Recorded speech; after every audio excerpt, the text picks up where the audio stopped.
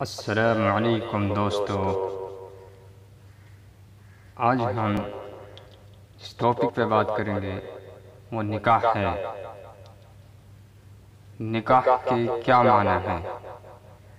क्या मकसद है निकाह का? इसी टॉपिक पे आज हम बात करें तो मेरे दोस्तों, शुरू करते हैं। आउज़बिल्लिमिनशैतानरजीम बसमीम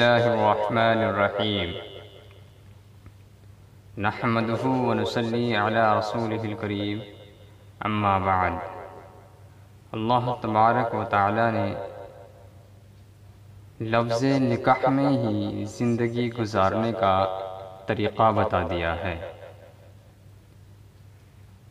लफ्ज़ निकाह अरबी से आता है और अरबी ज़बान वाहिद ज़बान है कि जिसके हर हर हर्फ का मतलब है। तो निकाह को हम पढ़ते हैं और दो परिवार, दो ख़ानदान एक होते हैं। तो हम शादी को कहते हैं निकाह। निकाह का क्या मतलब है?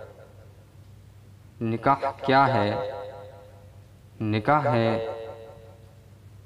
कि आसमान से बारिश का बरस कर ज़मीन में जज्ब होकर यकजान हो जाना।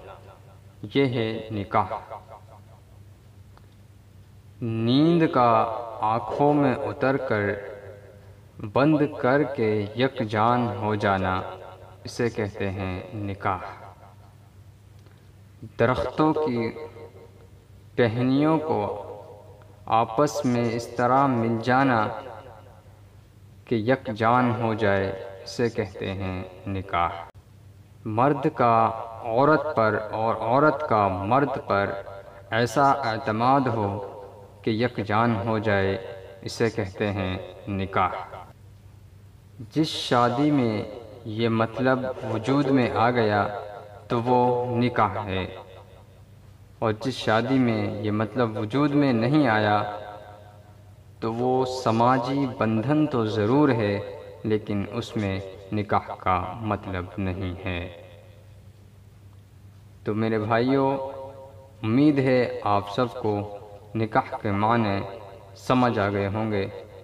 अगर आपको हमारा काम पसंद आता है तो आप वीडियो को लाइक कीजिए, चैनल को सब्सक्राइब कीजिए और अपने दोस्तों में ज़रूर शेयर कीजिए।